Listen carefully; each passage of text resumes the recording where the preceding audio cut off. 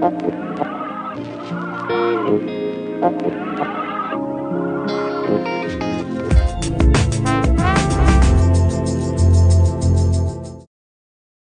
buenas noches, bienvenidos a la entrevista de Canal 6 de Televisión. Seguramente muchos de ustedes han escuchado el famoso refrán eh, que dice lo de marzo, ventoso, abril, lluvioso, que hace en mayo, florido y hermoso. Bueno, en cuanto a lluvia, mmm, poca. La, la justa, tampoco. O ninguna. O ninguna, como dice nuestra invitada.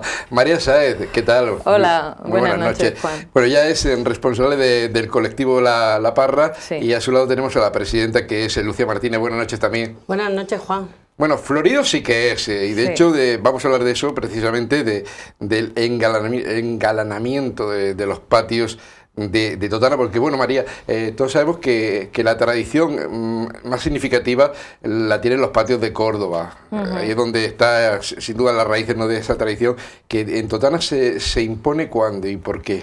Bueno, las raíces, las raíces se esparcen por todo al andaluz, ¿eh? Eh, en esos ocho siglos que tuvimos de, de de presencia, mal dicho, de presencia árabe en, en, la península ibérica, aunque yo lo que, como, como estudiosa, y, bueno, en este caso eh, no, es presencia, sino que el mundo árabe perteneció, formó parte de la cultura de la península ibérica durante ocho siglos, hasta el 1492, que fueron expulsados los moros.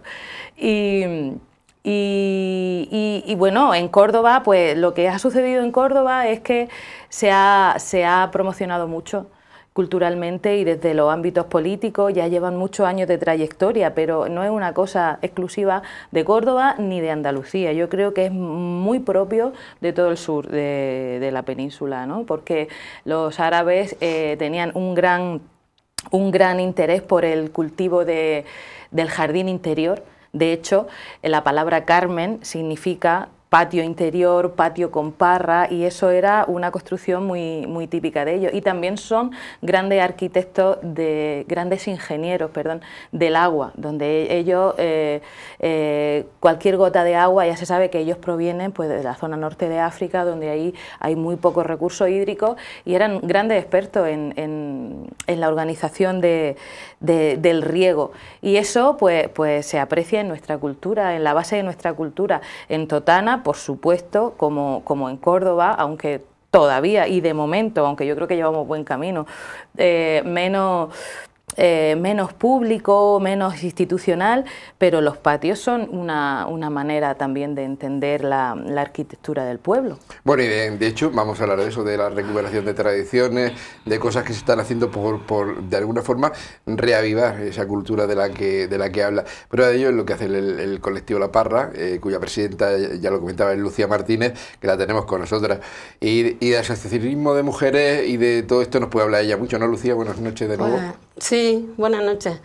Sí, porque siempre me ha interesado mucho el, asociacionismo y más el de mujeres, porque resulta que las mujeres siempre hemos estado pues, muy en la casa, siempre cuidando de los hijos, de los abuelos, y entonces pues el asociacionismo es una manera de, de salir nosotras de nuestra casa y entonces relacionarnos y, y vamos, a, a, mí me sienta muy bien de, de, tener una asociación de mujeres. De hecho, de hecho eh, Lucía ha pasado por muchas, muchas asociaciones, ¿no? Sí, yo he estado ya en algunas.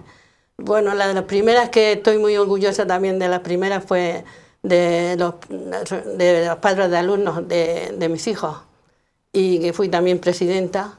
Y de allí salieron la, las habaneras de Santa Eulalia en aquella época. Y después, pues, eh, pues estaba en, en, esta asociación, de, bueno, primero en la, la Asociación Sociocultural, que, que, la quiero mucho, la Asociación Sociocultural, y después pues está el colectivo La Parra. Uh -huh. eh, la, la, gente es, eh, es eh, propensa ¿no? a pertenecer a colectivos, asociaciones, o sea, eh, ¿participa de forma activa?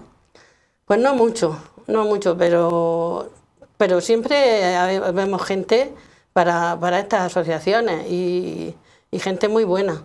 Entonces, pues hay que aprovechar las personas que tienen inquietud, las mujeres, y, y siempre salen cosas buenas de, de ahí.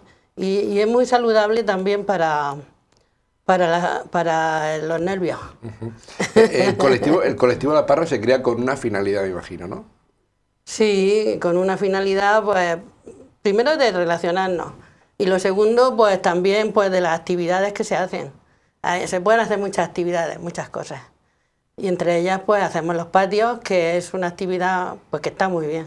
Estamos muy orgullosas de esta actividad. Y, otras muchas cosas eh, que duda cabe, ¿no, María? Hmm. Porque como dice, como dice Lucía, eh, hay, que, hay que apostar por las tradiciones, recuperar cosas que, se han perdido, ¿no? O que están en el olvido, se van sacando, se van rescatando. El colectivo en La Parra apuesta mucho por la promoción de la cultura y por la recuperación de la memoria de la memoria que, significa muchas cosas, y significa eh, la recuperación de las tradiciones, significa la mm, recuperación de las canciones, significa también las costumbres, significa la gastronomía, hay muchos muchos ámbitos en los que nos podemos, nos podemos centrar y nos podemos fijar, así que nuestras actividades son abiertas y, centradas eso, en la promoción de la cultura, en la promoción del arte, siempre desde un punto de vista como como, dice Lucía, eh, de la salud, porque al final, bueno, no, estamos nosotros descubriendo América, el, promover el arte, el hacer actividades artísticas, pues como dice Lucía, sienta muy bien a los nervios. Antes, hablaba, ella de la habanera y, muchas cosas, muchas cosas de, Totana que a lo mejor eh, muchos de los que nos están viendo a esta hora de, la noche o, del día, dependiendo de cuando estén viendo esta entrevista, desconocen ¿no? que se hacían en Totana. Y, Lucía, ¿qué se ha perdido y qué se tiene que recuperar? ¿Qué se debe de recuperar de Totana, de nuestras tradiciones? Pues sobre todo toda clase de cultura, musical, de, todo, todo lo que sea cultura, eh, también eh, que las mujeres también estemos implicadas en, aprender, porque nunca es tarde para aprender de lo que sea. Y entonces yo lo que quería decir también es que aquí en Totana había mucha tradición de patio, aunque, aunque no lo parezca, cuando yo era cría, casi todas las casas tenían flores y no había dinero para otra cosa, pero las mujeres ponían sus tallos, de una maceta a otra se ponían sus tallos y los tallos crecían mucho porque entonces no había plagas y había unos patios de, flores preciosos eh, cuando yo era pequeña. Entonces yo me acuerdo de todo aquello y, yo pienso que está bien de recuperar que las personas nos interesemos por tener los patios, bueno, la que tenga un patio que lo aproveche con flores, y la que no las ventanas, y la que no los balcones, y que nuestro pueblo pues haya flores por muchos sitios. Claro, porque yo, yo veo jardines ¿no? en las puertas de las casas, de, de hecho me toca... Mm. Pero mm, yo cuando paso por delante de una vivienda, eh, lo primero que pienso es en el, interior, si habrá un patio. Y prueba de ello lo que descubrí, ¿no? En el recorrido que hicimos el pasado año por los patios de Totana, desde luego sorprende, ¿no? La, la, imaginación que le echa la gente, porque no solamente, es como dice Lucía, las flores, ¿no? Es, eh, es utensilio, objetos antiguos que también se van adornando y, y, ocupan su espacio, ¿no? También, también. El nosotros también, desde nosotras, desde el colectivo, lo que queremos también es recuperar o reivindicar la posesión, y lo voy a decir así que parece un poco rimbombante, pero es que no lo es, la posesión de la belleza. Es decir, yo como persona también más joven y, que soy heredera de, las tradiciones que mis mayores me, regalan, porque, porque es un regalo, considero que estamos todos implicados, que la búsqueda de la belleza, que al final nos hace crecer como personas, nos da más salud, nos pone en nuestro sitio, nos pone bien, nos pone contentos, no, no es ir a un museo no solo es ir a un museo y ver un cuadro, o leer un libro maravilloso, o ver una película dificilísima, sino es que cada uno de nosotros colaboremos con un, embelleciendo nuestro ámbito. Y de esto se trata un poco lo de los patios, ¿no? de dar homenaje a las personas que embellecen su entorno desde, desde lo cotidiano, desde lo pequeño, y en ello las mujeres somos especialistas. Artistas. ¿no? Artistas de, y, que las cosas han cambiado, eso no lo, no lo discute nadie. No, claro. Eso no Pero que hay que volver a apostar por ello, pues Claro, y que las personas que eh, ahora viven en sus pisos y angustiadas, pues si tienen su balcón, pues que pues que lo disfruten. Nunca nunca nunca ha habido tanta tanta necesidad de ello como hemos pasado el confinamiento y hay algunas personas que vivían en sus pisos y que han sufrido mucho desgraciadamente, ¿no? Por, esa, por ese encierro y esa falta de naturaleza, que la naturaleza pues nos hace un poco, un poco y un mucho, nos hace estar mejor y nos hace eh, plantarnos como seres de la naturaleza que somos los humanos. Siete años ya me parece que se cumplen. Sí, son siete. Siete años ya llevamos, sí. Siete años. Eh, en, este, en, en este recorrido eh, se ha visto incrementado el número de participantes, el número de personas que se han sumado a, los patios. ¿Tú qué piensas? Pues pienso que, que sí, hay algunas más que al principio. Y, además que las veo muy interesadas. Y la gente, vamos, yo cuando, cuando me hablan de los patios que ahora los han visto en, en, en, el Canal 6, pues vamos, me hablan muy bien, muy bien. Y yo para nosotros es un orgullo de que, de que, de que vengamos, que los hagamos y que, y que, las personas en sus casas, gente que no puede salir a la calle y que nos vean y, que, y que se alegren y eso es lo que estamos diciendo, que eso es salud. No sé, no sé si hay, eh, esta pregunta puede, puede venir a, a cuento, ¿no? Pero la, voy a preguntar. ¿Hay cierto pudor a enseñar a mostrar? Pues mira, Juan, eh, yo quería contar también aquí que este año en la búsqueda de patio yo me he llevado una sorpresa, porque, porque siempre es eso que decimos, bueno, pues es un pudor que da abrir la puerta de la casa de uno y enseñar, pero tengo que decir aquí, y, y Lucía, que me acompaña también, es testigo, que este año las solicitudes que hemos hecho han sido sí Sí, ah, sí, sí, sí, claro que sí. Y yo pienso que, bueno, los medios de comunicación también tenéis mucho que ver en esto y el Canal 6 en concreto, ¿no? Porque ha abierto estos paraísos interiores a las casas de los totaneros y eso a la gente le gusta. Y, tengo que decir que, que, nos han abierto las puertas con mucha gana. y este año en especial, ¿no? Y por lo que estamos súper contentos y a lo que pues animamos a los totaneros que para el año que viene otros patios que se nos están escapando, en vez de ir nosotras también, porque vamos buscando, ¿sabes? Vamos olisqueando, a ver, aquí tiene que haber un patio, aquí, pues que nos llamen y nos digan, mira, que yo tengo un patio muy hermoso. Pues, Porque claro, ¿cómo, cómo se ha planteado el, eh, o sea, el visitar los patios? ¿Han sido las personas las que han acudido o se ha ido? Eh, ¿ha, habido, eh, ¿Ha habido las dos mm, Pues mira, ya como llevamos siete años, ya, ya es una cosa mixta. Tradicional. ¿no? Sí, y, nos van llamando y, y, también nosotras vamos sobre eso. En cuanto vemos una casa que tiene una arquitectura un poco especial de esta, típica, que es la puerta central y dos ventanas a los lados, y la casa baja a media de, un agua, pues ya enseguida decimos, aquí hay patio. Aquí hay patio. aquí hay patio. Y entonces, pues, pues, pues, mamá, ¿tú conoces a esta persona? O tú conoces a... Pues sí. Pues, y bueno, y las socias también. Y las socias también. Sobre todo, sobre todo las casas señoriales que tiene Totana. También. También, las casas señoriales, sí, grandes tesoros, pero las casas humildes también. También. Estas que te digo que han sido a veces consideradas que se llaman aquí en Totana las casas baratas, ¿no? Muchas casas baratas de estas que son, como digo, puerta central y dos ventanas a los lados. Esas casas siempre o casi siempre tienen un patio al fondo. Y, otra cosa que quería decir es que esas casas lo que tienen son muchos geranios. Que no sé, que las casas siempre señoriales han tenido, han tenido más plantas verdes y siempre en las casas más humildes, más geranios. Es cierto, hay, hay mucha tradición de geranio. ¿eh? Sí, sí, que está muy difícil de cultivar ahora, porque hay una, unas plagas muy... No sé si, es porque ha sido una, una, una, una, flor, una planta que siempre ha gustado en Totana, tiene una tradición ya muy arraigada en Totana, pero rara es la casa que no tiene un geranio. Sí, y además que ahora ya no, pero han sido siempre plantas como, que se dice muy gitanas, ¿no? Que han crecido de, con, poca agua, de cualquier manera, ¿no? Hoy me ahora, ahora, no. Ahora ya no, porque hay unas plagas, tienen plagas muy agresivas, ¿no? Y necesitan curarlos. Eh, curarlos, pero hoy me explicaba el floristero en el mercado que, que, por ejemplo, las bugambillas, cuanto menos agua le echa, más flores tienen.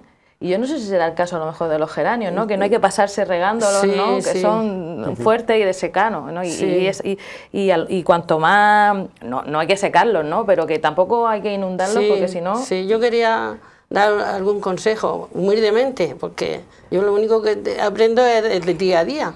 Pero eso, que las plantas mm, quieren eso, que no quieren ni, ni mucha agua ni poca.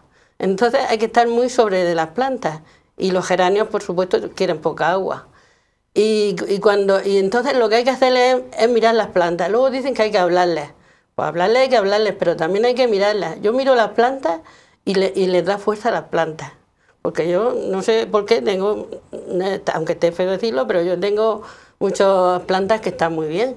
Y entonces yo Mm, por eso un consejo es que, no la rieguen ni mucho ni poco. Y luego el abono, también si le echan abono o estiércol, que también que no le echen mucho, a poco a poco. Entonces, a poco a poco, cada semana o cada 15 días. En vez de echarle mucho, a poco a poco. Claro, Juan, si te a, nosotros, a nosotros se nos secaría. Claro, Juan, si te das cuenta, son consejos que, que, que donde interviene la lentitud de la vida que no tenemos. Fíjate el esmero ¿no? que pone, que pone la, la, mujer en sí, y hay hombres también muy mañosos. También, también. Pero que para todo esto de, de adornar, de poner y tal, en fin, vamos a centrarnos en las actividades. Venga. Hemos hablado un poco de, la tradición de las flores, de los patios, de, la recuperación de, las cosas que, es importante. Concretamente, eh, hace unos días presentaba ya la séptima edición de, del 27 al 29 de abril con un programa de actividades que este año va más allá de lo que es la ornamentación, de la que hemos estado hablando en Galanado Floral, sino que eh, se va a intentar de alguna forma acercar, no sé si a los pequeños, a los jóvenes, a todo el mundo, al tema de la jardinería. Sí, este es un festival para todos los públicos y esto es importante y quería decirlo, donde pueden participar todos los que, los que, los que lo, así lo sientan. Entonces, la primera actividad que tenemos es la del jueves 27 de abril y va a ser un taller de jardinería de macetas. Con esta, con esta actividad yo tengo mucha ilusión porque es la primera vez que lo hacemos, estamos un poco expectantes, no sabemos tampoco cómo va a resultar. La vamos a celebrar en el Parque Azul, que se dice, en el Parque de los Frailes del Padre Crisóstomo, creo que es, sí, sí. ¿no, Juan? Y es gratuito. Y entonces allí, a las 7 de la tarde, a partir de las 7 de la tarde, nos vamos a reunir con nuestro tallerista, que es un agricultor ecológico del pueblo, que es Jesús Martínez, que su mote familiar es el picante que es agricultor él, eh, ya optó por la agricultura ecológica, por la agroecología, y, nos va a, estar, va a estar allí con nosotros explicándonos y haciendo con nosotros pues todo lo, relativo a, las macetas, que pues al trasplante, el compostaje, la vermicultura también, que es el, trato, el tratamiento de la tierra a través de lombrices, eh, las curas ecológicas, los esquejes, la floración. Y entonces eh, la, intención que tenemos también es que con los asistentes y las asistentes, si vienen personas que entienden de macetas, que compartamos, ahora mismo Lucía estaba haciendo, dándonos consejos, ¿no? Que compartamos entre uno y entre otro, pues lo que sabemos y lo que no sabemos sobre sobre las macetas, ¿no? Sí, sobre las flores. Sobre las, flores, sobre cómo es mejor hacerle, cómo no es mejor. Y, y, es un encuentro pues de saberes compartidos, que eso es también muy, muy, muy del trato vecinal. esto, esto, lo vamos a tener el, jueves día 27 de abril a partir de las 7. A partir de las 7, en el Parque Azul, sí. Todo, todo el que tenga inquietud por la jardinería o quiera aprender algo, que se pase. Y el que pase por allí, que se quede. que van a aprender a hacerlo, hacerlo todo. Van a aprender unas cuantas, vamos a aprender unas cuantas cosas, que a lo mejor ni siquiera teníamos ni idea, como por ejemplo a mí me llama mucho la atención eso de la reproducción por esquejes, ¿no? que parece casi mágico, que hay gente, ella decía, hay gente que tiene lo que se llama el dedo verde, que hace así, corta, y, le pega. Y le pega, ¿no? Porque hay personas que eso les sucede, otras no les sucede. Por la energía, por lo no que sea. A lo mejor de cara, de cara al año que viene incluso habría que plantearlo llevar eh, esta actividad a los colegios. Pues mira, me lo voy a anotar. No, sé, eh, que los chavales desde muy pequeñitos ya empiecen... Eh, todo esto les gusta, ¿sabes? Sí, los, colegios, ya, hacen sus cosas con los huertos. Sí, sí ya, ya lo Bueno, pues ya saben, jueves 27 de abril a las 7 de la tarde en el Parque Azul, que hay justo detrás de los, de los padres capuchinos. ahí estará ese taller de jardinería de macetas gratuito para, para todos los públicos. Dentro de, las actividades seguimos, eh, el viernes día 28 de abril tenemos también a partir de las 9 de la noche en el Teatro de, la Cárcel tenemos a, Las Poderío, que por cierto, ¿quiénes son? Mira, Las Poderío es una compañía andaluza, por decir. Está compuesta por tres artistas de, reconocido, de reconocida trayectoria, que son Blas Saez, María Muñoz y Alba Olmedo. Son, eh, son, bueno, Alba es de Málaga, eh, María Muñoz es de Loja y Blasa, que es hija del pueblo, y de su padre y de su madre. y, entonces estas mujeres poderosas han compuesto, han creado un espectáculo multidisciplinar. Ellas se conocieron en un cabaret, en un cabaret de variedades, ¿no? cada una, pues Alba con su baile flamenco, Mariquilla, María es que es eh, actriz y payaso, y Blasa, que es música, eh, y juntaron su, su, cada una sus disciplinas, su arte, y crearon este espectáculo que se llama Aleceia. Aleceia es una palabra que proviene del griego que significa aquello que no se puede esconder, es decir, la verdad manifestada. En este espectáculo que es, eh, pues que tiene, quiero insistir en que tiene diferentes formatos. Hay música, hay teatro, hay circo, hay humor y hay flamenco.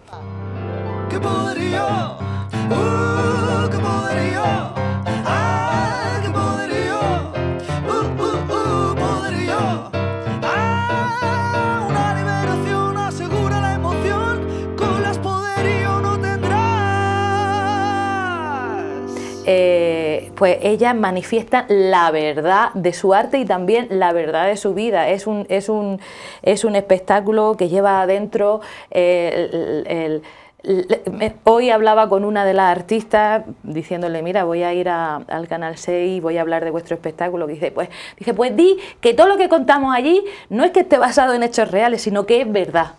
¿no? Por eso se llama Aleceia. ¿no? También quiero destacar que, este espectáculo hace un recorrido por un montón de estados emocionales. Yo que la he visto tantas veces, tengo que decir que lloras, te ríes, te emociona. Es una cosa que hay momentos en los que si tú estás de frente al público ves a la gente con, las lágrimas en los ojos, otros partidos de la risa, porque hay mucho talento también cómico. Y, bueno, tengo que decir que que la mayor parte de las veces la gente termina de pie. Es una cosa para no perderse. Es la primera vez que vienen a Totana. Han estado en algunos lugares de la región de Murcia, pero a Totana tenemos mucha ilusión y estamos muy orgullosos en el colectivo de La Parra porque, porque las traemos. Es la primera vez que vienen. Eh, la entrada son 10 euros anticipada que pueden adquirirla en la cárcel, en las oficinas de la cárcel, en las oficinas del ayuntamiento, en el mismo ayuntamiento, o poniéndose en contacto con cualquier miembro del colectivo, o 12 euros en taquilla. Esto será el viernes 28. El viernes 28, también a través de internet de la plataforma entradium.com. Bueno, pues será una forma de, disfrutar, de reírse y de, llorar y de y de que afloren los sentimientos, no con las poderíos. Quiero decir también, perdona Juan, una cosita, y es que este espectáculo ha sido nominado a los premios de la arte de la Academia de Andalucía, unos premios muy importantes y las tres eh, artistas, una por autoría musical, otra por danza flamenca y otra a mejor actriz, han sido nominadas a los, a los novenos premios Lorca, que se llama Lorca, pero de Federico García Lorca, eh, de la arte escénica de Andalucía. pisando fuerte. Sí, están teniendo mucho éxito en toda, mucho reconocimiento en todo el país. Bueno, y la última actividad se la dejamos a Lucía, ¿no? Sí que es el, el, sábado 21 de abril, que ahí nos espera una, una caminata, eh, estaremos encantados además de ir, porque el año pasado lo pasamos genial. Qué bien. Pues a partir de las seis y media y partiendo de, de la glorieta. Sí, de la glorieta. Hay un recorrido. ¿Por dónde vamos a ir, María? Digo, Lucía. Pues en principio vamos a empezar por el Ramblar, que allí vive una señora que se llama Cecilia, y esa va a ser la primera casa. Luego nos vamos a ir a aquí a, la sollería, ¿no? Se llama. Que, ¿Cómo se llama? El, bueno, e, ella, ella es pura y él es Rufino. Que antes hacía maceta y ahora pues... Alfareros de, toda la vida. De toda la vida. está jubilado y son gente muy buena. Y después nos iremos a la casa de Javiera, que eso está por el barrio de Las Peras.